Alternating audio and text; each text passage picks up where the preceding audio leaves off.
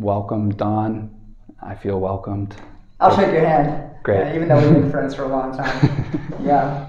I'm really stoked to be having this interview with you. I feel like ever since I really started to learn more about your story and kind of the journey that you went through, I feel like the information that you've been able to learn about and the information that you've experienced and the things that you've experienced in your life would give a very interesting and unique insight into what it's like to go through some pretty crazy stuff and you know go through fame and go through heartbreak and go through coming into your deepest truest power so uh, i'm stoked to be sitting in with you today Yeah, man, me too. It's been beautiful to get to know you over time, especially in this place, because you, when I first came, you talked about the seven rules of Vilcabamba and what it's like here, and how it's a diamond factory, how it really makes you speed up your karma and face your stuff and grow into a much greater person. sure And in the beginning, I was skeptical. I was coming in with this US ego and seeing a lot of people being vulnerable and judging them like, ah, they're so weak. Look at all these vulnerable people. Look at all these crazy people.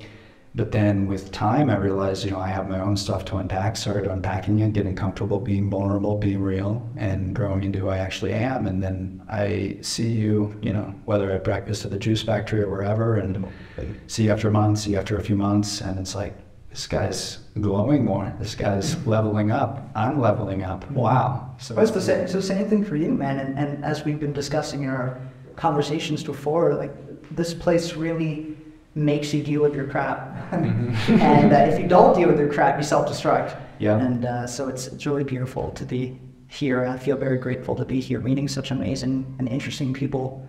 Um, but I know that your story started very with a very interesting beginning, and uh, you had mentioned the importance of vulnerability.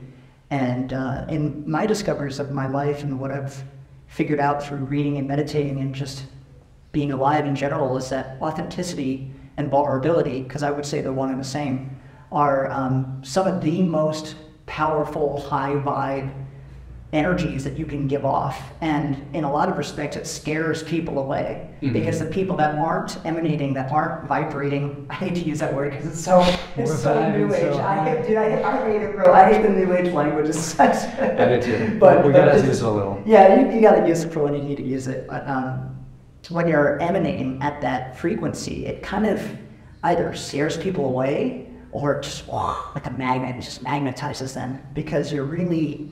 I feel like most people are desperately craving to know what that's like because there's so much layers of um, identity or ego or trauma or fear. And uh, I know that you had gone a lot through that in your early journeys when you were first getting started. And so that's sort of where I want to hop into and how your life has transformed over time. And of course, we want to do a little bit of the expose of what was going on within Survivor because I know that that was pretty wild and I think it's going to be a pretty big bombshell for a lot of people. There's never ending expose to be done, so we can get into a little bit of it. I love it, dude. I'm stoked. I'm stoked for the expose, guys. yeah. All right, so let's get started. So, from my understanding, is that you have been watching Survivor for a long time, and you just decided to be like, I'm going to do this. This is this is what I want to do. What what what initially compelled you to want to do that? Yeah, man. Just seeing the concept of the show and how provocative it is and how pioneering it is, I think it's the best concept TV has ever known.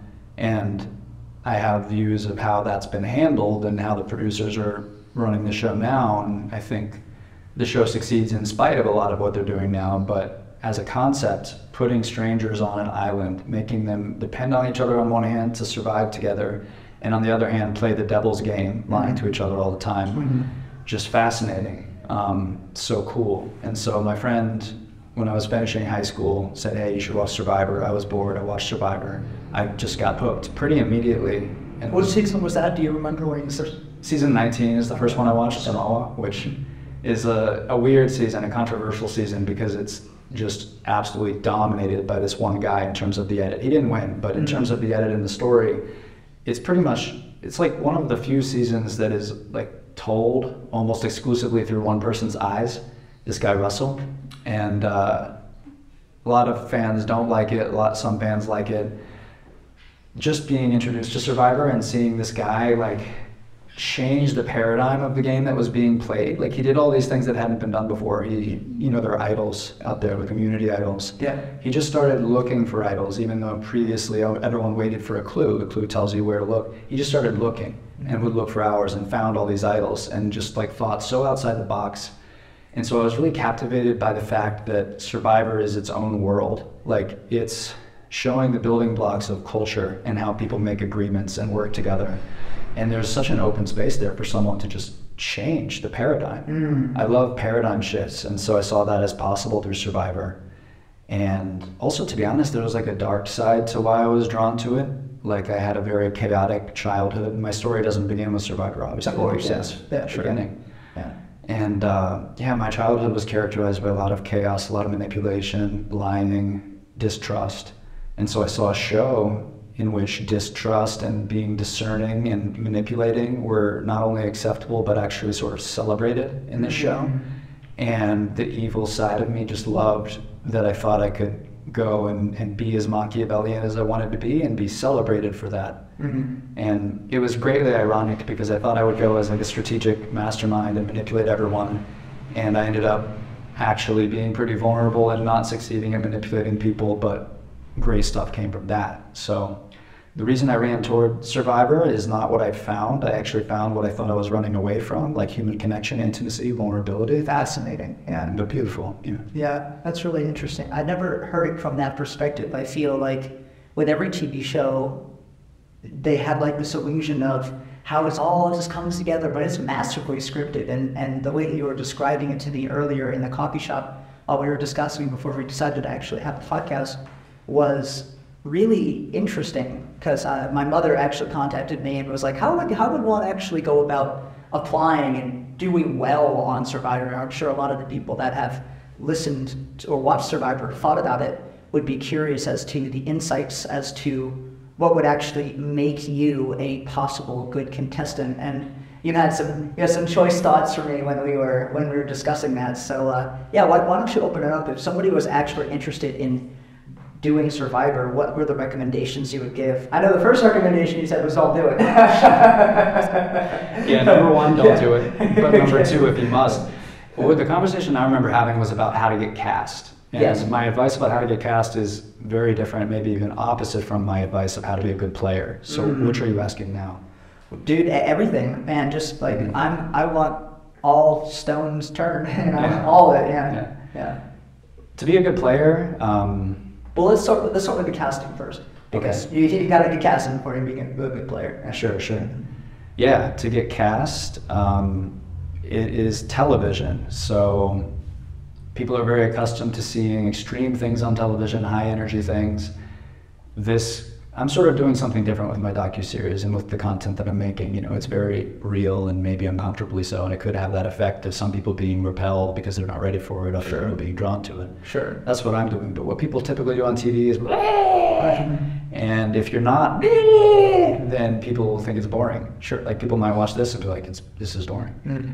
Um, my my like way of speaking now is is actually my way of speaking. It's no longer what I did to get on TV. But what you do to get on TV is you just amp up the energy times 5 mm. Like just talk really loud, take up a lot of space, and just be a loud personality, embody it, even if it's uncomfortable and weird. Mm. And then it comes across as normal on TV because that's what we're used to.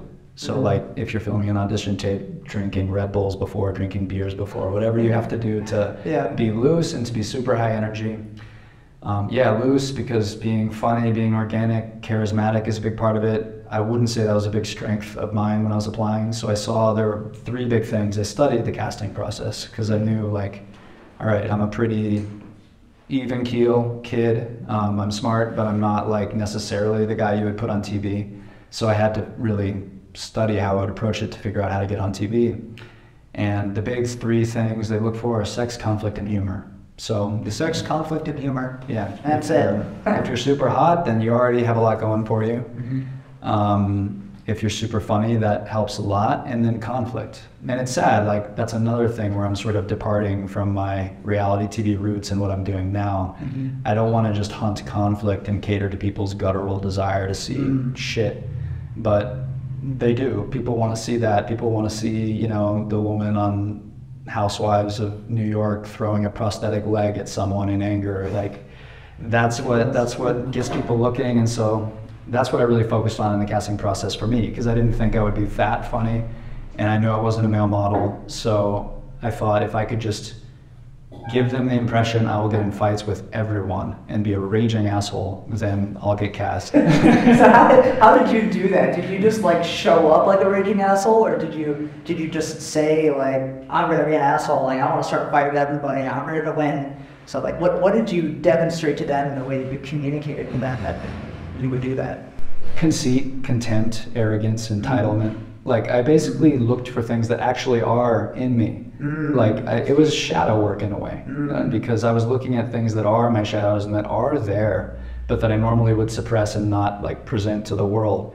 But in this contrived context, it made all the sense in the world to not only like lead with these parts, but blow them out of proportion. So I found like the seed of arrogance, conceit in me, and I honed in on that, and I let it grow like tenfold. Mm-hmm. And then I walked into the room, and I was that, Mm. and they believed it. And it's kind of crazy that they believed it. Like the lower level casting people eventually figured out, like, okay, he's putting on a show. He's he's like studied this. He's gaming us. Mm-hmm. But Jeff and the higher level producers and the people who only met me for like five, ten minutes in a hotel room and then at CBS, they they really thought I was that guy. And then I got on the island and I was myself, and they were really shocked. But yeah, I would say, like in a nutshell, for anyone, figure out what about you would make someone root for you or against you. Neither is better than the other, and against you actually is maybe a little easier to, to do convincingly. And then take those parts of you that are true to you and blow them up. There you go. You know, most people when they go through the therapeutic process, they either meditate or they get a therapist. But you can also go on reality television and completely project to the world all of your insecurities. that works too. Yeah, it's not the easiest path, and not the one I would recommend. It's certainly ballsy. It's there. That's funny. okay, so um, I, I want to get into kind of the, the, the darker side of Survivor because it seems like it's this very contrived show and everything's everything's all pieced together perfectly. But I remember you told me you had some pretty uncomfortable situations with some of the producers or even with Jeff. Um, do you want to talk about that a little bit? Tell me what, what, what happened. Yeah, sure, sure. I mean, all of casting was kind of uncomfortable because you're locked in a hotel room for a week, being forced to take psychological tests and going into these interviews that are just weird and progressively weirder. Like the first ones weren't so weird, but by the time I was meeting with Jeff and Mark Burnett, um, who created the show, or I think Charlie Parsons created the show, but the executive producer, Mark Burnett, um, by the time I had my first interview with them, it was yeah, I was not at all expecting what I walked into. I walked in and it was a little normal for the first minute, and then after a minute or so, they just started fucking with me basically. And so Jeff is like, So, when did you realize you were gay? and I was like, Huh? And they're like, You know, when did you realize you like men? And I'm like, um, I'm, I'm not homophobic or anything, but I don't, I don't know where you got the idea that I'm gay. I'm not. Um, what is this? Is this like some weird British humor? Because Mark was there.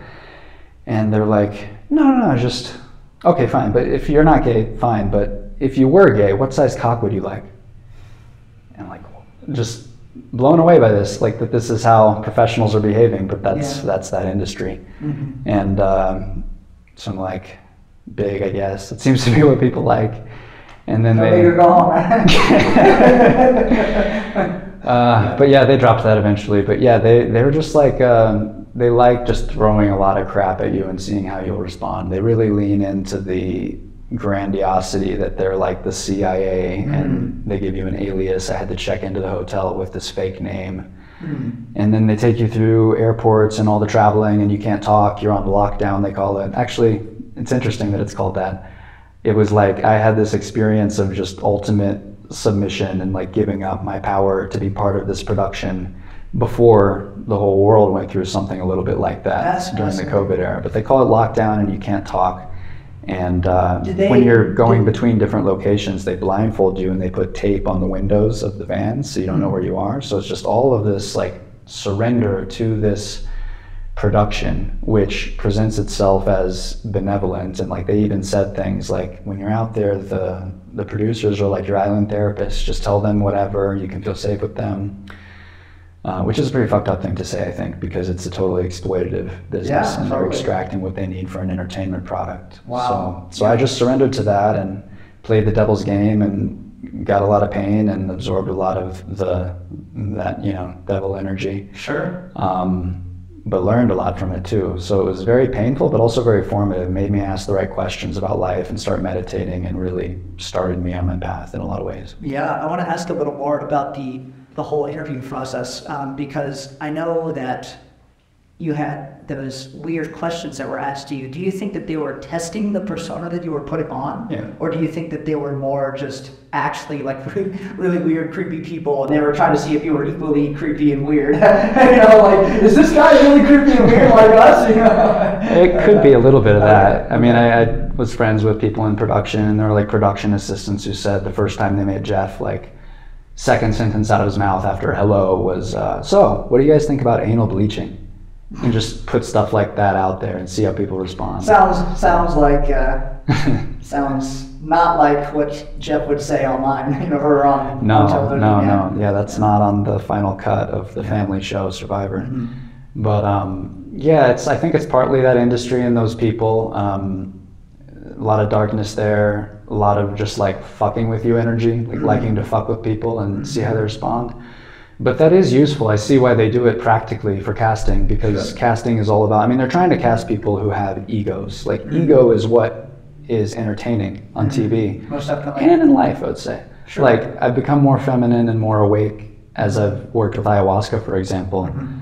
and a consequence of that is becoming a little more boring. Mm-hmm. Like I'm not really a character. I don't have a shtick. I don't walk around like this is who I am and, and performing that. Mm-hmm. You know, I've leaned much more into presence than in performance, Mm-hmm. and TV thrives on performance, the ego.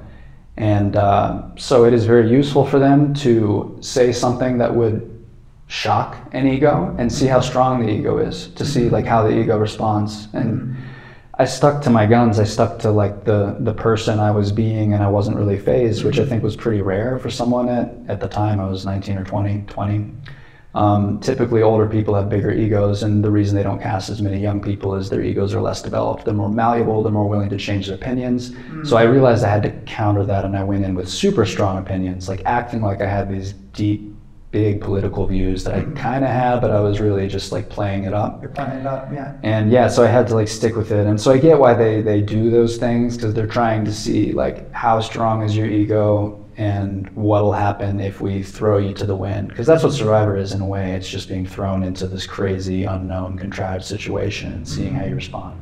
Because it seems like it seems like a lot of it's contrived when you look at it from behind the scenes. How much of it is it actually you legitimately surviving? It is legit. I mean, they're not giving you sandwiches behind the cameras. It's not scripted, and they it is legit uh, in just about all the ways. Um, the producers do like leave you in a convenient situation, like where I was in the Philippines and Cambodia. I don't think there naturally would just be a bunch of bamboo lying around ready to be used for a shelter. So they do, you know, throw a little bamboo, like drop some coconuts. Like Sure. we, we called them the coconut fairies. Like if we were, if we were like really thirsty and suffering, and suddenly there would be a few coconuts. Like Oh, look at that! so they hook you up, but they, they do let you starve also. They they like put you in a situation where you'll be fine. It's not naked and afraid. You know, it's the people there would not last on a show like Naked and Afraid.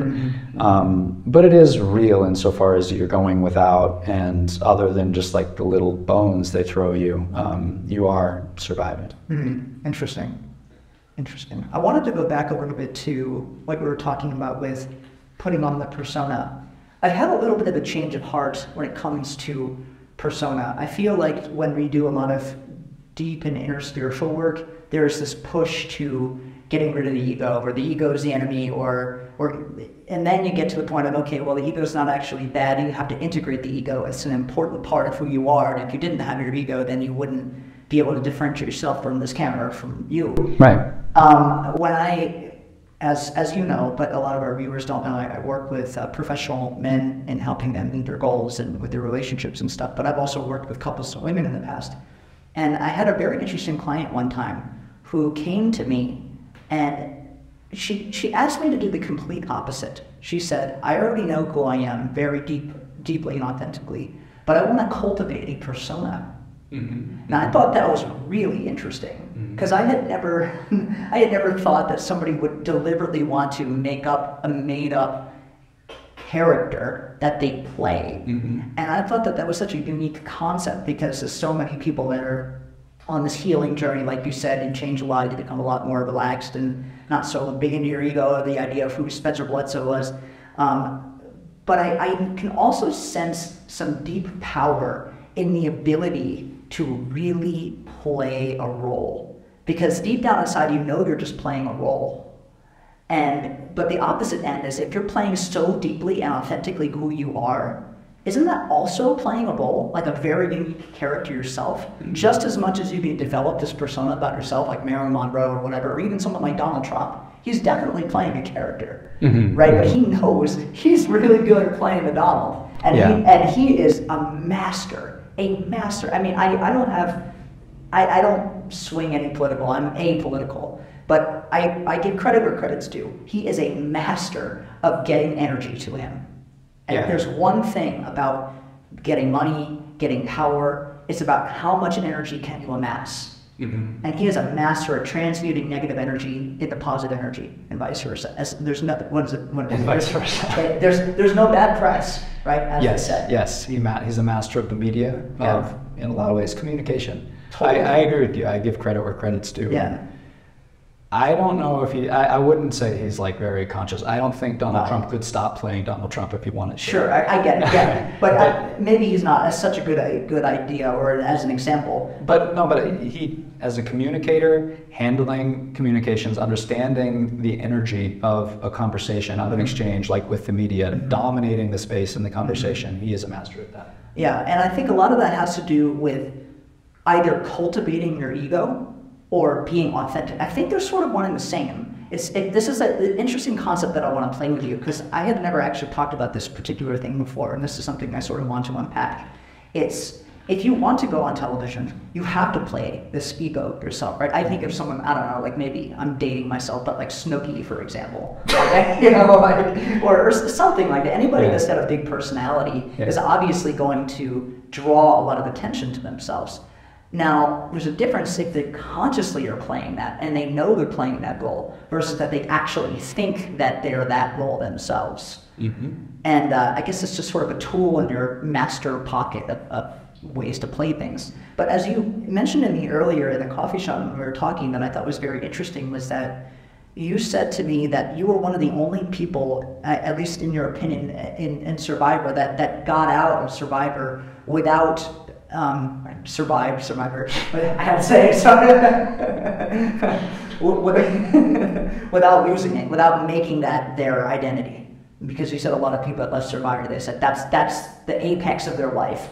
Like that happened 15 years ago, and yet you're, they go on interviews and they're still talking about Survivor, and that's it. And uh, so, what do you what do you think about that in terms of overcoming that or how you were able to overcome that yourself. Because I know that you said that that was very challenging for mm-hmm. you in, in your transition from being this popular, famous character on Survivor and dealing with the fame. And can, can you tell me a little bit about how you dealt with the fame and how that changed your psychology? Yeah. Uh, first, I want to clarify that the fame was a very low level, small taste of fame in the big picture of TV and film. But it was enough of a taste to know that it sucks, that it's not actually good or healthy for anyone, even if it feels really good at the time, which it did. It was a huge rush. The dopamine rushes of like after an episode scrolling through Twitter and seeing thousands of people commenting on my personality, mm-hmm. 95% positive, loving me or loving who they think I am. Mm-hmm. But then it's interesting how the negative outweighs the positive. We look for that. You look until you find the shit, and then that bothers you. And then you look for more good stuff to build up this false ego. It's just a terrible um, destructive cycle. So how, so how would you feel about that? Like, I really want to get into the feelings of what that felt like. Did you feel yeah. like you were God? Did you feel like, I don't know, like, because I've never had that kind of experience mm-hmm. before mm-hmm. where I'm high on this people getting high on somebody that I'm not. Like, that sounds like a very weird situation that I've never experienced. Mm-hmm.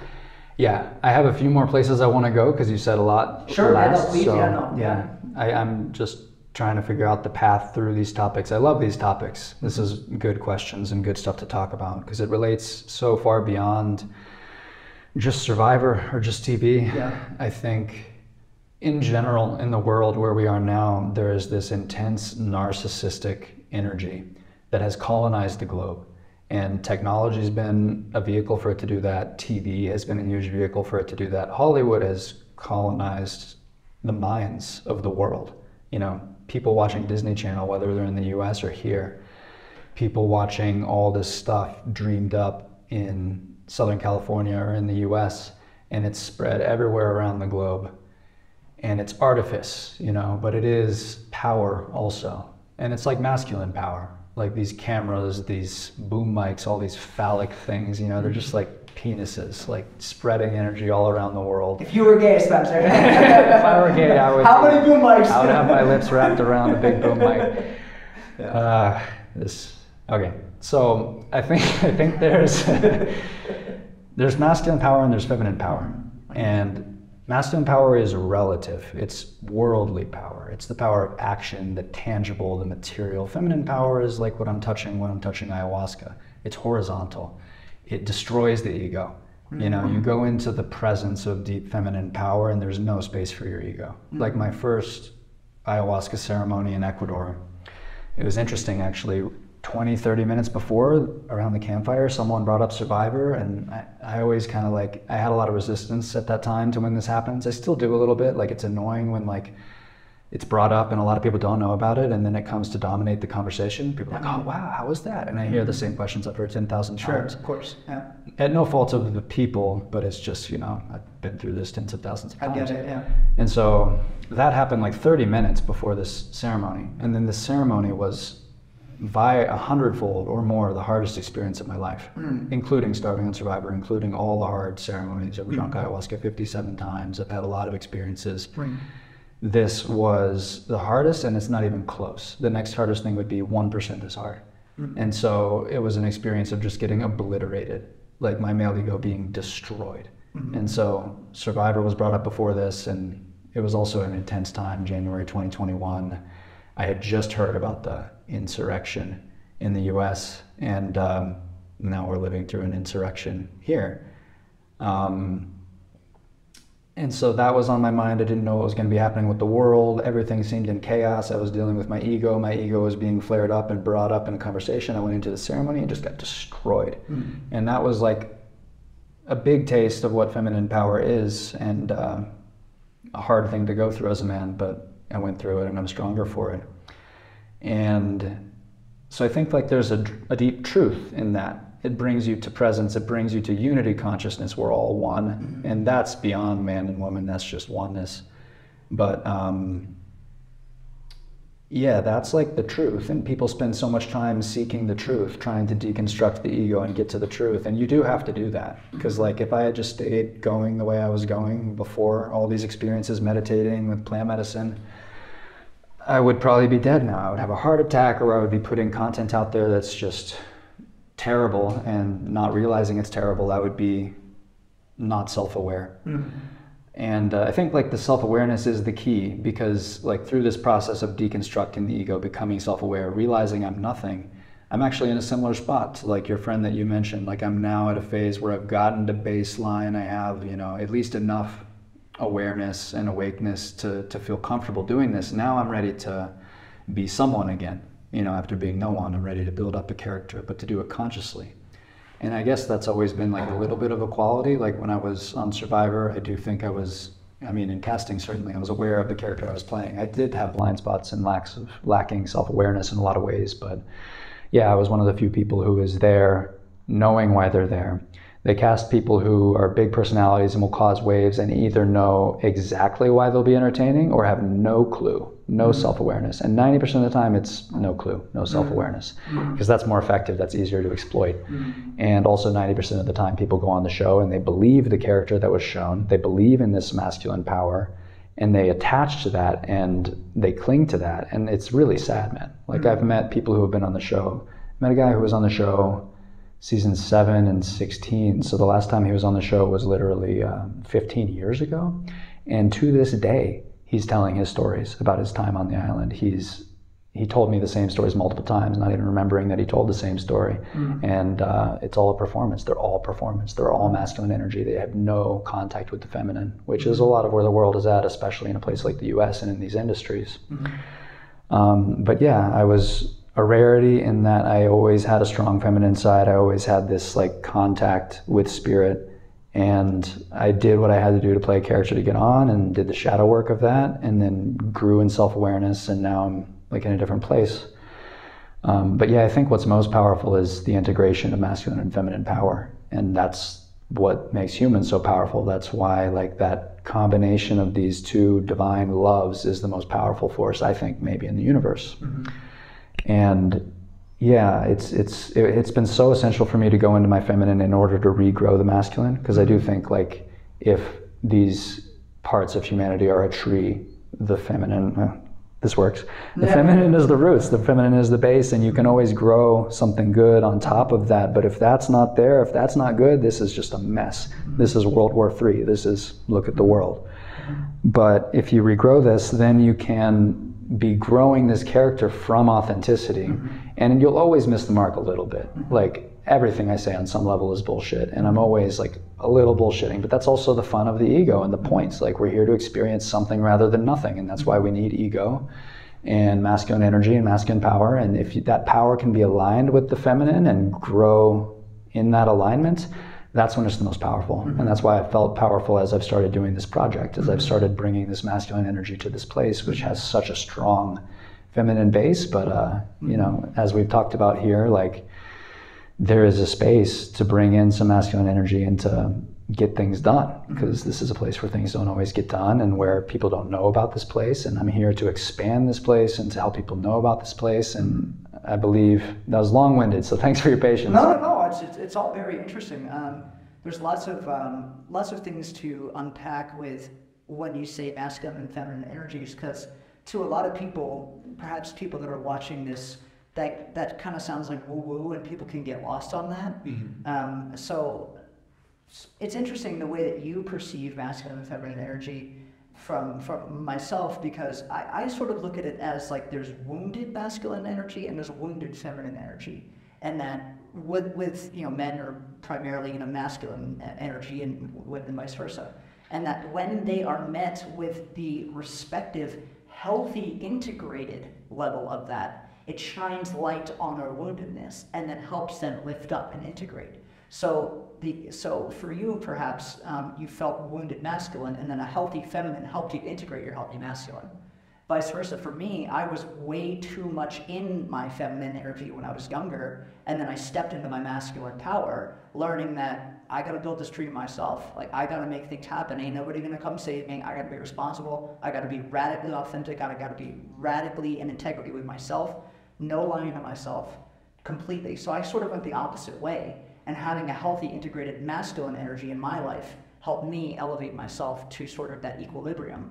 Mm-hmm. So I, I, guess it really depends on which way you're looking at it from. Yeah. Right? Because if, if you, you got the leaves but no roots, you, you ain't gonna last much longer. But if you got roots and no leaves, then what's the product of your work? Yeah. Right? Yeah, totally. And it doesn't have to be like all one and then all the other. I do think there's a lot to be said for going in or reflecting, being still, mm-hmm. cultivating that feminine presence, and then doing something, trying and seeing how it goes. You can always go back, back and forth, back and forth. So um, moving moving in from the, the wounding that happened on Survivor and moving into the process of the integration, why that's happening. Yeah, oh, I remember what I was going to say. Um, just that you were talking about being too emotional, and that's where I've been at too. But I would say it's not necessarily being too emotional; it's being too um, too reactive to your emotions? Because I feel a lot, bro, and I think you do too. Like, uh, but I also have a lot of masculine energy, and I can comport myself and feel all of it, and still do what I'm doing regardless.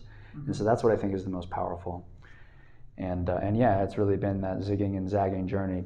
Big zigs and zags. You know, I went into the belly of the beast in like some of the mo- like one of the most masculine spaces in the world, being on a TV show and then I had all this energy, but it was going in stupid directions, and so I needed to connect with the feminine to um, to correct it. Mm-hmm. And uh, it was because of what Survivor is that I realized the need to do that. Like, you're not eating, you're facing yourself, you're not looking at screens, you're on the screen, but you're not looking at screens, and you're just being. A lot of it is letting time pass. Like if mm. you don't have a challenge that day, back in the day, now they have it shorter, but like there were off days and those were the worst because you're just like sitting there watching the sun go across the entire sky all day, nothing to do, to do other than talk, other than relate to people and face people and then face yourself. And so, with all the introspection and asceticism of not eating and talking to people and being in this environment, I realized a lot about myself and I realized like the ego that I thought I had together at the time was really not together. It was really not what I thought it was. And you know, at 21, 21 year old male, come on, that's like the the height of bravado without the real strength. That's the that's the height of you know just uh, BS. Mm-hmm. And uh, and so that's where I was. But because I had this experience not eating and being with myself, after I don't know 15, 20 days, um, repressed emotions came up and emotions came up, and like I didn't think I was emotional at all. I thought I was just like a cold, calculated guy but I realized my emotional nature and my feminine nature because of the situation. And um, I remember like a big catalytic experience was at the merge feast my first season like after when you merge you get a lot of food and mm-hmm. i was eating all this food which was amazing after not eating hardly anything just a little rice for whatever 18 days and i was struck by this strong emotion of guilt that came upon eating the food like they pulled me for an interview and they were like how are you doing and i'm like it's amazing to eat, but like I, I don't know why, but I, I feel like guilty. Mm. And I realized, you know, there's this deep sense of shame, this deep sense of guilt mm-hmm. that I had carried with me. And that tuned me into my inner child and to the wounds that were there that were really just uh, stuffed under the rug of this bravado and this ego and whoever I thought I was. So, what was the guilt coming from exactly? Did you ever pan that out? Did you ever hash that out? Uh, deep things from birth. Mm-hmm. Like, you know, as that came, I had a memory come of when I was eight and I got a really nice marble chess set as a gift for my birthday. And then that night I was looking at it and thinking, wow, this is so nice. And then feeling really sad and crying and just feeling unworthy of it, feeling mm-hmm. guilty. And yeah, I think it's from childhood stuff. It's mm-hmm. like the world we came into is something like mm-hmm. born in a hospital, that's something in itself. But then, you know, 24 hours of labor, traumatic birth, emergency C section. One of my early experiences is having part of my dick chopped off, as happens to guys in the US. Mm-hmm. So, very traumatic entry to the world. And then my mom had her trauma, deep trauma, you know, more intense stuff. And you know everything passes on that's what karma is so things passing through the generations she felt unworthy and like a piece of shit so she made me feel unworthy and like a piece of shit at no fault of her own but that's it's what was transmitted. Yeah. Mm-hmm. It's unconscious, yeah.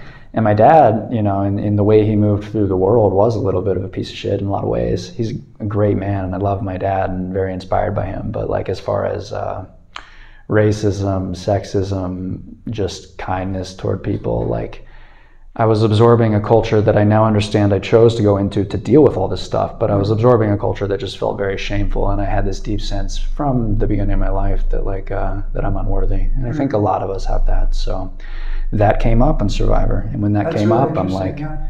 Yeah. I'm like, this is something to work on. I started asking questions about life and what I'm doing, and realized, you know, I don't really want to just you know, down the road, realize I don't just want to stay in finance and make money. There's no real good end game there. I want to give something to the world that only I can give to the world, mm-hmm. which is very masculine. Mm-hmm. So it, it was also like as I was getting more connected and more feminine, I was getting more masculine. The two went together. Sure.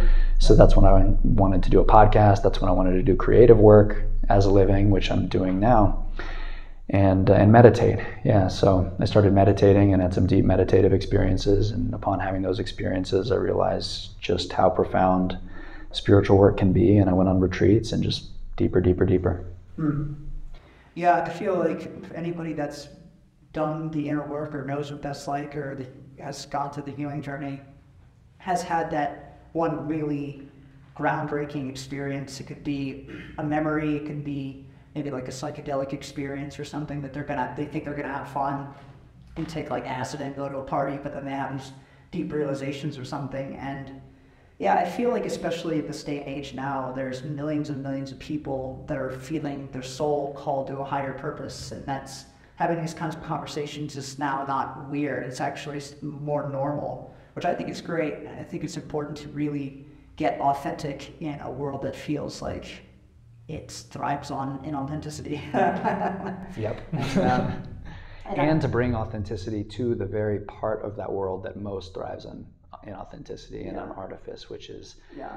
TV, social media, what we put out there. Well, that was the one thing that I found extremely interesting in the work that I do with men, because I, I work with some men that have like, private equities. And they do they do like, private equity. They, they do lots of stuff. And they're very successful in what they do, but they're struggling, like deeply struggling, and they're they have alcohol problems or sex addiction or whatever. And I, I realized that in that limelight, in that success, they have what I call the veneer of success, but internally they're just like dying inside because society has conditioned them to saying, okay, you have to have this external experience, you have to have this bank account, you have to have this type of woman, you have to have this type of, in order for you to qualify to be whatever. And what I find is that the more that they accumulate, that society tells them they need to be, the emptier that they feel.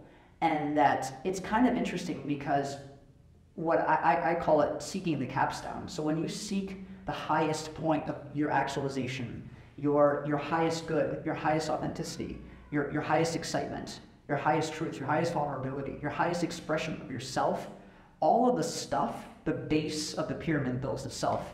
You get the connections, you get the mm-hmm. experiences, you get the money, you get the relationships, you get everything you want, but you ultimately realize that that's not actually what I want.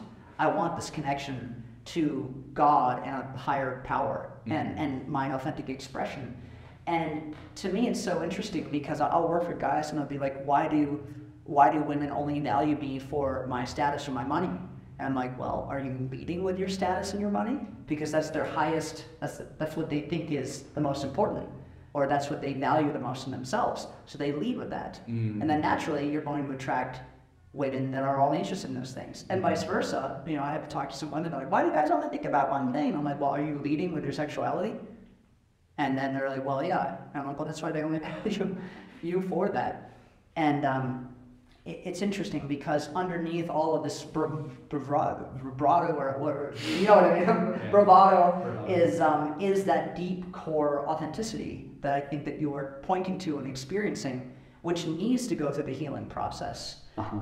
But I would argue that the healing process isn't necessarily always feminine energy Yeah. um, healthy masculine energy also is equally as healing and equally as authentic as well. And I think it just goes with the respective polarities, right?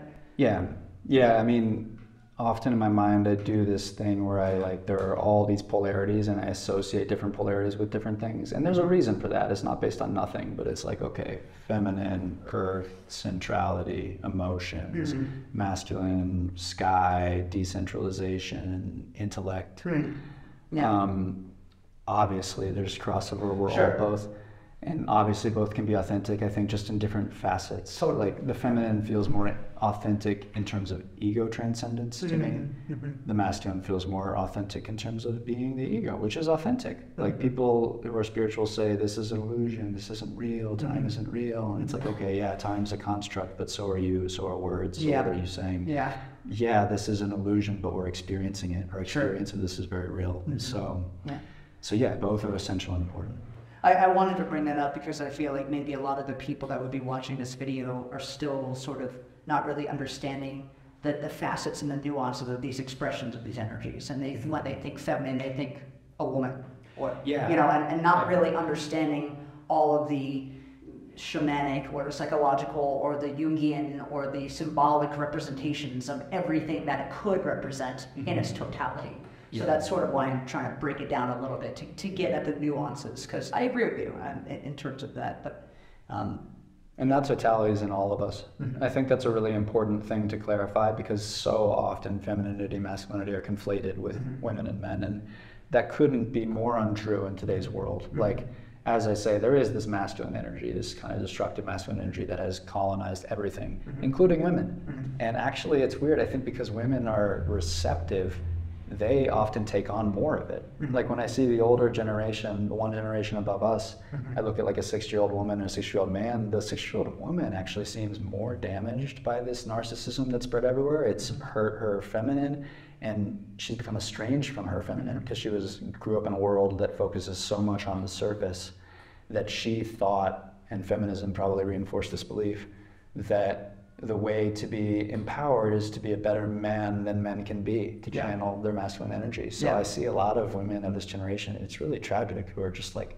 talk, talk, talk, talk, zero ability to listen, all masculine energy. Their feminine is just asleep. And a lot of men's feminine are asleep Yeah. too. Um, but yeah, it's like all of it isn't all of us. Well, there's a, there's a war on humanity, and you get snapshots of it with media or with um, social media or TV and stuff like with the Survivor, because they, as they, as we were saying earlier, you they kind of lionize the ego and um, they downplay the authenticity. But I would say that people are starved for authenticity.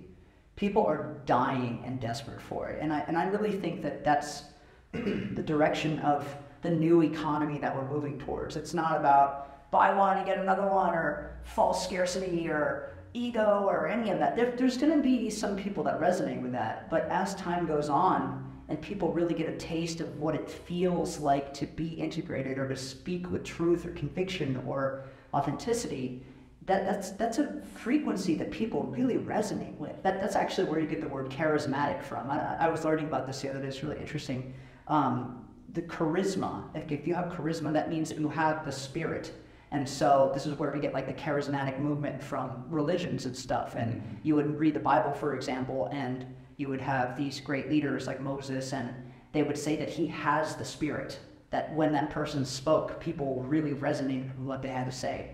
So it's so charisma means being able to speak with the spirit of conviction, mm-hmm. and that comes that's so magnetizing.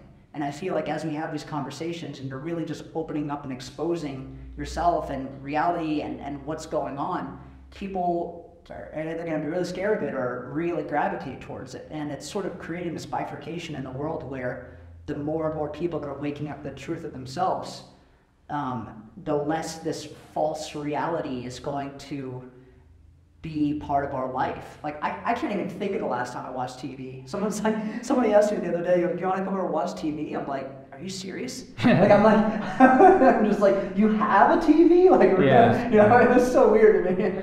Yeah, I love that. I Yeah. love living in this bubble where it's Yeah. weird to have a TV. yeah. Throw away your TV.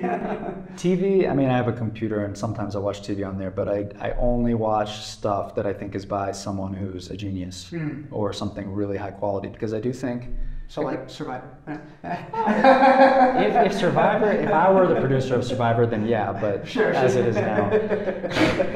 I think TV and film and this new manifestation of something like reality TV can be a huge part of what we're co-creating because it can show what's possible. And I remember like Eckhart Tolle said something like this, like generally TV, these things, they're turning you into a zombie, they're low consciousness, but in certain forms with something like Black Mirror that exposes people to a lot of uncomfortable truths, or something like Light and Shadows that shows people great possibilities as well as difficult things. Like if you're showing reality and expanding consciousness through it, then it's great. It's a great tool for our evolution. Before we took a break, I, I wanted to ask him every question, uh, which is a really interesting concept. I think I know what your answer will be, but I want to just check anyway. So we were talking about through this conversation this theme of authenticity and going through the, the devil's belly, as I think he said, the devil's underrow, um, and thriving in your ego and, and needing to play that persona. So my thought process was, maybe this is not really a good idea, but I remember one of my favorite characters on Survivor when I watched the show. I don't watch it anymore, but when I was watching it when I was younger, was a Rupert. and uh, say what you will about him, but from what I recall, him he was just really charismatic, and it, it, it appeared that he was being authentic. Now, I don't know if he was, I don't know if that was just really good editing or whatever, but the, the reason I bring that up is because imagine if you actually were really deeply just authentically yourself on TV. So authentic to the point of where it actually was compelling. And I wonder how people, I wonder how the producers would react to that, but I also wonder how the audience would react to that. And so I know people have asked you to go back. They've been asking you, I know you have, and I know you're like, no, I've never doing that again. Yeah. But I'm wondering, to speculate, given the knowledge that you know now, given the integration that you know now, given the awakenings and the authenticity that you found in yourself, do you think that if you actually went back on the show again with the authentic self that you are now, that you would actually blow stuff out of the water and really actually be able to speak to the audience on a deeper level that they would resonate with? What do you think about that? Yeah, I think I would be able to, but I think that is far from the best way to accomplish those goals. Hmm. Like, I do want to use my voice and reach people, but I think what I'm doing is actually a much more powerful way to do that. Mm-hmm. Um, yeah, like, it is interesting how to pick it up with Rupert. I Mm-hmm. think he's an example of a guy who was a very compelling character because he was so in the character that he wasn't even in touch with his authentic self at all. Mm, interesting. Just Yeah. he was the character, and I think that's. I haven't met him, so I don't want to judge too much. But my impression is like just in everyday life, like a lot of people who've been on the show, they're stuck in the character. Um, but no, he was hamming it up. Also, I'm sure he's not always that like loud. Um, but yeah, I think all good. Okay, she just did this. That's not what you want to see from your producer. Cut, do over. no, no. Look at the camera. I was Okay. just asking him uh, to tell me where the batteries are. Okay, That's todo bien. Estamos listos. Rupert, yeah, characters. People get stuck in characters. And it's interesting how it goes full circle where like the characters are compelling and entertaining, but if you do go all the way down to the roots of the authenticity, that can be compelling too, but only in long form, only if you give it the space it needs, and that's the mm-hmm. problem. Mm-hmm. An episode of Survivor is taking 72 hours of you and condensing it into one to two minutes of confessionals if you're a huge character, two to three minutes of mm-hmm. content. So that film to air ratio is staggering, bigger even than what my film to air ratio will be with what I'm doing. Um, and so you just, it, it appeals, it naturally appeals to the sound bites, to the surface. Um, there's just not space for the depth. Like there's space for the depth in a long form interview like this. There's space for the depth if you really give it time and if you if you really are thoughtful of how you create, you know, a documentary episode. But in Survivor, not really. And and yeah, I think I would probably be good and compelling for the producers and for the audience. But I think, yeah, it's just like no interest really. I would if that were the best way for me to reach people and accomplish my goals. I would. I'm not like anti-survivor, but I think there's no chance because I just think there's no chance it'll be the way to do it. Like I have a voice that I can use now independently, not Yeah. through the filter of what they choose to put in and edit. And just to deal with being treated like a third grade child, brought through airports blindfolded, put in lockdown, um, and and to, to deal with the people to, to not eat and do that to my body again. It just seems in no way worth it given i can do what i want to do without it. That makes perfect sense. Yeah. but it's cool. I mean i would say like it hurts more people than it helps and that's why my initial advice is don't do it but it's cool. Like if you make the most of it i think it's what you make of it. It's a, an amazing opportunity for for introspection for growth for a peak experience and the danger is just you don't want it to become the peak experience of your life that you cling to because that's you at a time mm-hmm. and then you get attached to you at that time and to your mm-hmm. image that's created from this time and people stop growing as humans Yeah. because they're living in that living in the past. Yeah, one, one mantra that I say to myself is that I'm always peaking. Like I never stop peaking. yeah up and up Like 20s, my 20s was a peak, and then I'm just gonna peak again my 30s and my 40s on it, and I'm just keep peaking and peaking, peaking. And I think that kind of mindset is necessary to really actually live a full life experience, and such as what you're doing yourself. You know, you're going on the journey. You're buying land in Ecuador. You're working on yourself. You're creating docu-series to really make a difference and an impact. And um, yeah, I think of those people that peaked in high school, and I was like, Yeah, oh, that sucks. I, that I for sucks. those people. Well, actually, I, I don't because they choose. Yeah, They choose their life. True. And I was jealous of them in high school. Yeah. well, what's what's funny? I look back on my high school. I never fit in in my high school. I just I would walk around and be like, I don't get these people. These Yeah. people are weird to me. And now they're all just like sitting at home selling life insurance. And I'm like, mm-hmm. I'm like, I'm like, all right, bro. Like, mm-hmm. I've been living my life and doing interesting things. And I mean, you know, this is not to make me feel good about myself, but it's This really- is to show them and then show them that you won. I mean, it's not even that. It's, it's it's it's really it's really more along the lines of finding your deepest authentic purpose, and that's sort of why I wanted to tie this whole interview home with was starting with what got you compelled on the journey, what what motivated you, those darker aspects of yourself, the healing, the overcoming, and then the coming into yourself, and then now the actualization process. And tying it all home is that you know, you, you could have claimed that you peaked in Survivor. You could have done that, but you chose to make something more of it. And I think that that's a testament for any other part in your life. Maybe if you were a high school jock or you were the school president of God knows whatever in college or whatever, Yeah. that you choose to continue, continually climb more exciting mountains. hmm That Yeah. and, and that's until the day you die. And that's what's exciting about being a human is that there's so much more to explore and unpack.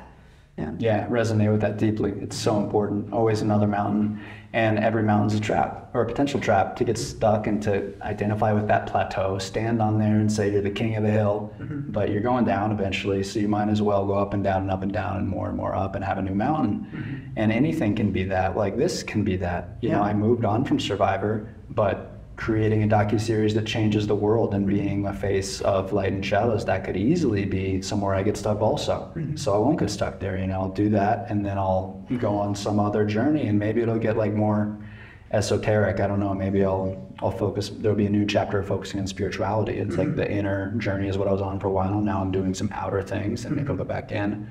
But yeah, whatever it is, in, out, wherever it's facing, it's so important to always have another mountain. Like that's that's what we live for and what keeps us growing and keeps our spirit alive. Like as soon as we're just going through the motions, selling life insurance or whatever, we're dying, and um, that is a lot of people. But um, but yeah, it was a blessing in a lot of ways that I was at the bottom of the totem pole in high school. Like no girls liked me, gave me any attention. I had self worth on the floor.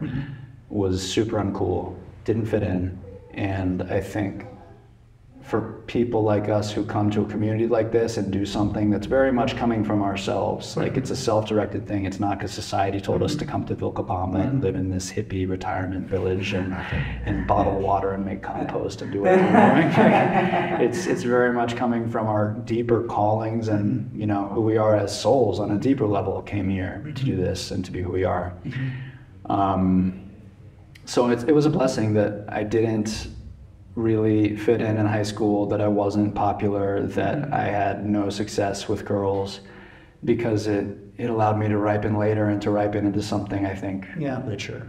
I find that you know if you have I call it the late bloomer syndrome. Um, if you if you kind of have that those kind of rejections or that sense of inferiority really sort of creates a pressure cooker for you to really explode in growth in the later parts of your life.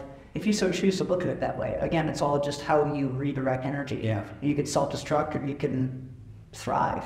And a lot of people don't get there. Honestly, if I didn't get the opportunity with Survivor, I think I wouldn't have gotten there. I think mm-hmm. my life would have been really sad. If I hadn't been on Survivor, I think I mm-hmm. would have continued just identifying as a loser mm-hmm. and gone deeper into darker and darker places of all those rabbit holes, continued to not have any success with women or friendship or whatever. Mm-hmm. And because I was on Survivor, I was able to put that on the dating apps and see my matches go up tenfold or a hundredfold and mm-hmm.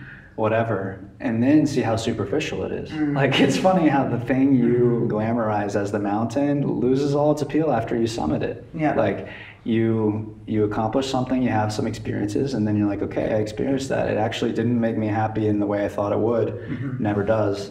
The happiness isn't outside; it's inside. That's why those inward times of the journey are so important. Mm-hmm. But you think it will. And when I was trying to get on Survivor, I thought, oh, if I get on this show, like I don't even have to worry. Like if I get on the show, my life is set. That would be such a huge win. Mm-hmm. I don't even. I'm not even gonna calculate past that. I'm not even gonna think beyond that dream mm-hmm. because if I do that, that would be great. And it was great. I do think it was the difference between a depressing life track than an inspiring life track, but at the same time, it only was the path to the inspiring life track because I let it go. Mm. Yeah, there's a really powerful quote that my sensei told me one time that sort of touches on that, which is um, my sensei is really amazing. He was a Danish national champion, like four black belts. Amazing, amazing guy. Very, You very. call him sensei. I call him sensei, and I think I also call him Josh. But Gotta gotta call him and, sensei. uh, I mean, that's what it is. It's, it's my sensei. Um, but he told me this one story that was really powerful that I think about a lot. And he said that when people get a black belt, most black belts get it wrong. They get a black belt and they stop and then they start teaching what they know. But he said the point of getting a black belt is to get a black belt and throw it away. Because now, now, when you have a black belt, you actually have the foundations of how to go through life. Now you have the tools to explore the unexplored. You have the tools to develop the space that most people don't know how to explore. And that true mastery comes when you throw away what you think that you know and just enter into the mystery. Doesn't mean you throw away your skills. Doesn't mean because you're going to have those skills. Mm-hmm. Another way to look at it is like playing the guitar. Mm-hmm. If you know all the scales and all the modes, you know all the chord inversions and jazz theory and all that stuff, you can learn it and figure it out and just in your sleep know exactly where it is on a guitar. But the second you step into that creative flow and everybody's vibing together and then you just let it rip, that's where the real magic unfolds. You mm-hmm. throw the black belt away, if you mm-hmm. will. Mm-hmm. And that kind of reminds me of what you were telling me earlier. I mean, in your own experience, that you got to a certain level of inner mastery and then he threw it away and realized that I, I've always had it there. I've always had it right there. Yeah. So with that being said, can you tell me a little more about your docu-series for those that haven't been following what you're doing or what you plan to do with this docu-series? What goals do you plan to accomplish with this? Yeah, it's a big vision and a long-term project, so it's going to be months before I'm releasing episodes. But it's also a multifaceted thing. It's like a mountain, and at the top of the mountain will be the docu-series episodes that are the most visible that go, I hope, around the world. Mm-hmm. And then at the bottom will be like the newer version of Joe Rogan Experience. I'll be doing interviews like this, although I'll be doing the interviews. I'll need a little more energy for that, but I'll be doing interviews and multiple interviews a week, and people who are really invested and loving it can follow along and mm-hmm. and watch all of that. But then for people who are less invested or who we want to reach, the docu series will be a way to share a possibility, a vision, a way of life with the world. It's called Light and Shadows. So it's about sharing the light, the possibility of a place like this, of people creating alternative lifestyles, creating communities, working with medicines, healing, growing their own food, supporting biodiversity, coming together, love. It's sharing all of that while also sharing the shadows that will inevitably come. And we're living with a lot of them now as military are in the streets in Ecuador. Um, but a lot more will come and probably come actually for what we're co creating here and for what I'm creating because I'm sure there are forces in this world that don't want an empowered, free, awake humanity, which I'm supporting. So it's about sharing those issues, those challenges, the shadows, and sharing the light, and uh, sharing both sides of a lot of things that are often treated one-sidedly, like plant medicine. So many documentaries, so many things just show only the light, and there's a very dark side to plant medicine that I've experienced and encountered. And so um, So you plan to go deeper into the indigenous wisdom around that? I do. I'm, I'm still honestly weighing um, my place in that, and, and I'm leaning toward not drinking much more medicine myself. I've drunk a lot of medicine. For a while, it seemed like my path was revolving around medicine, but now I feel it's much more powerful to go to those places and have non-entheogen psychedelic mm-hmm. experiences and just connect to source and consciousness on our own power. So that's my focus now. But I do want to share that world and both its light and shadows because mm-hmm. so often it's just lionized and treated as a panacea. Yeah. And we do need to look at things realistically. Places like this also, like I love this place. I've found home. I've found myself here, and yet there are some uh, some crazy people. And, uh, You know, that has to stop.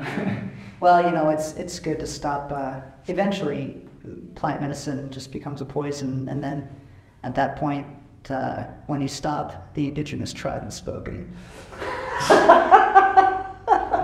you know, I had to throw that in there, bro. yeah, yeah, they've spoken. I mean, I think it always depends on the relationship. I think you can have a healthy, ongoing relationship with it. It doesn't inevitably become a poison. But insofar as you believe you're sick and you need it to be well, it is disempowering. Totally, yeah, most definitely. Well, it's a very exciting and inspiring vision um, that you have going on, and I think a lot of people here, when they really start to do the inner work, or people that just do the inner work in general, when they don't get trapped in what I call this spiritual hypochondria, hy- hypochondriacs. you know, they're like, oh, I'm, I need medicine, I'm sick. I'm like, no, uh, you're not sick, you don't need medicine, you need to cut your hair and get a job. like, that's what you actually I can't go to the gym, just everything in the collective. I can't lift weights. In fact, yeah, no, it's it's pathetic. And yeah, I, I think yeah, I, I gotta I gotta give credit where credit's due. It's a step in the right direction. Yeah. And the desiring to heal, desiring to integrate, desiring to overcome. But at a certain point on the other end, through the hero's journey, we have to step into our authentic selves and be the change that we want to see in the world. But to take it even a step further, and this is this is the key that a lot of people miss, is knowing that it's not about what you do, it's about what is being done through you.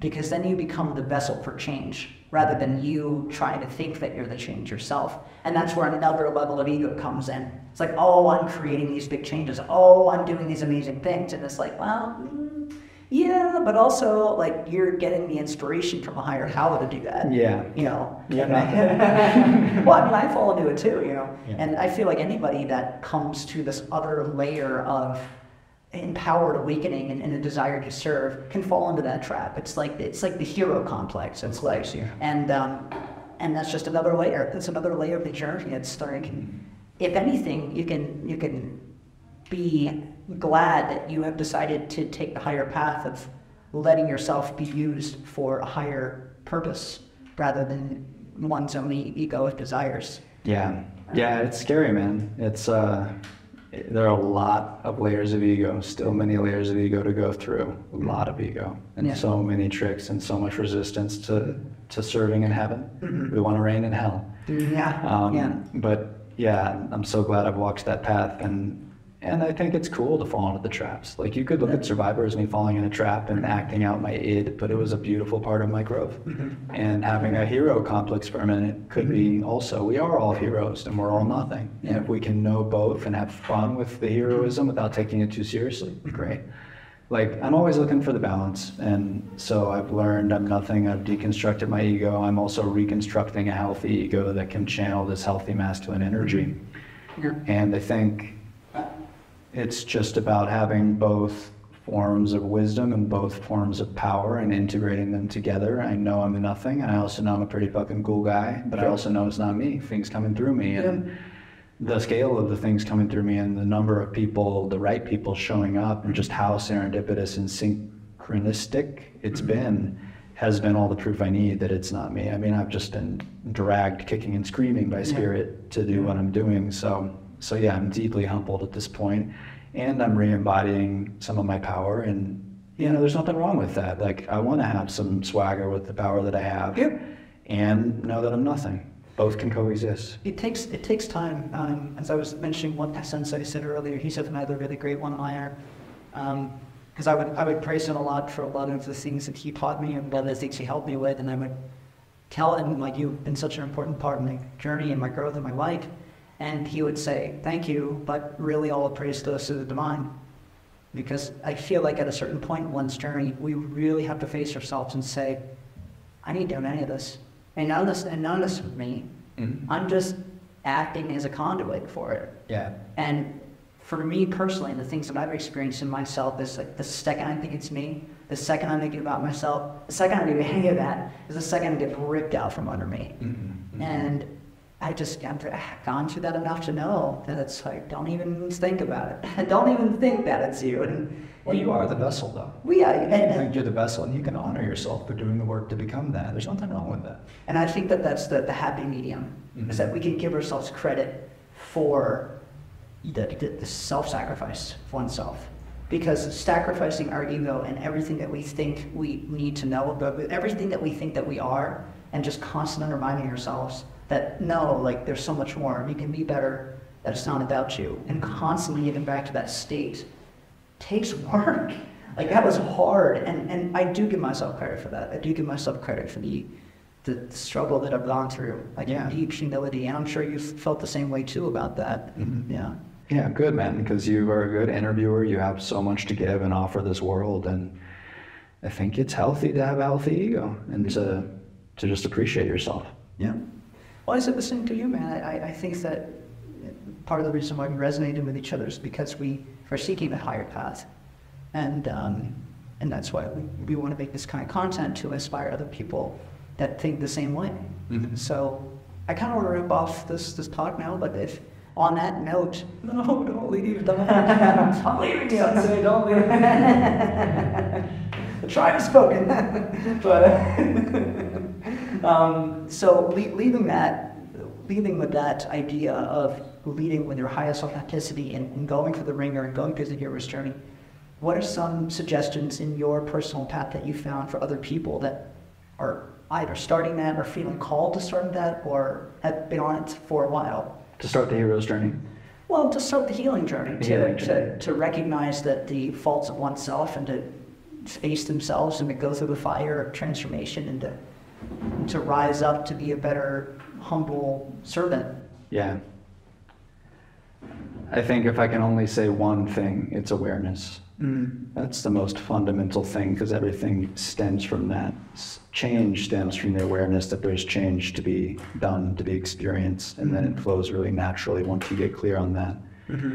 But awareness, feeling it all, feeling the bad things, knowing that the bad feelings and the shame and all of that is really just a form of love teaching you to grow. Mm-hmm. Everything's a form of love teaching you to grow. And that's why you can't get attached to one teacher. The mm-hmm. bad things in your life, the problems are teaching you, and the good things are teaching you. And you can learn from both and not attach to either. So, in that stillness, feeling it all, being with it all, being grateful for it all as your teacher, because life is one big psychedelic mm-hmm. medicinal trip. That's It's a what we're here trip. for. We're learning. The trip. And so being still and feeling it all and being there for it, and then being very clear about where you want to go as far as this feminine stillness and masculine movements go, and insofar as they complement each other. Get really clear on what you want and why. Like, I knew I wanted to be on Survivor, and I did it, and it was a huge learning of my power to manifest, very empowering but I didn't really know why. I was very unconscious, and that was fine for the time. But as much as you can be clear on the why, you're clear on where you're going, and uh, it's your experience of life. That's why we need that energy of movement. We could all just be yogis sitting there receiving what life gives us. There's nothing wrong with that, but we're here to live our life, and so you get to decide what that is. And by feeling it all and being aware, you can see why it is what it is. and then you're very clear in where you're moving. Powerful. Thank you, man. Thank you. Yeah, this was one of my most enjoyable interviews I've done. I feel the same way, man. Thank you guys for coming on the interview. I had a really enjoyable time talking to Mr. Spencer over here. Yeah. so- Reiman. Reiman. he goes by Reiman now. And, uh, yeah, Ryan Spencer. Yeah. Why, why did you Why did you change your name again? Uh, didn't? Oh, yeah. Yeah. We we didn't do that part of the interview. No, no, we weren't rolling when we mentioned that. Yeah. But I had an ayahuasca retreat and I died and I was reborn. And then I felt just intuitively I wanted to change it. It felt connected to my family. It sounded good when I said it. It felt better. I think a silver lining and an added benefit is that it removes me a little bit from the TV identity, but that's not like the, the reason I did it. Really just because it feels right. Okay. right. Good. Awesome. For now, we'll see. We'll see. We'll invite you in again. Yeah. So thank you guys so much. Um, when Reiman releases his documentaries, you can check those out. They're going to be amazing. And you can follow me on my YouTube channel. The links will be uh, below. I work a lot with masculine development and cultivation, and as well as helping you with relationships and just overall becoming the best man that you can be on the world. And interviewing people that are really interesting, that are going through their own personal healing journey to come into their fullest, most authentic power. So thank you guys so much for tuning in, and I'll see you guys next time. Hoorah! Listen, if you're new to this channel or you've been following me for a while, you're probably the kind of person that knows that they're meant for much, much greater things in their life. And while most people are not living up to their fullest potential and would rather live in mediocrity for the rest of their lives, never really doing anything noteworthy or anything that they can ever really say that they're proud of, you know that you're different. You know deep down inside that your life is meant to be invigorating and exciting. You know that you're meant to have amazing, loving, inspirational people that support you. You know that you're meant to have unique and exciting and enlivening experiences. And you know that you're meant to have a career that's totally aligned with service and abundance and something that really, really lights your jets. Now, when you hear this, you know deep down inside that this is actually for you. But perhaps maybe you don't know where to go or where to turn. If you're really, really serious about getting super clear and getting the practical steps on how to actually make this reality happen for you, click the link in the bio and I'll show you how. I'll see you there.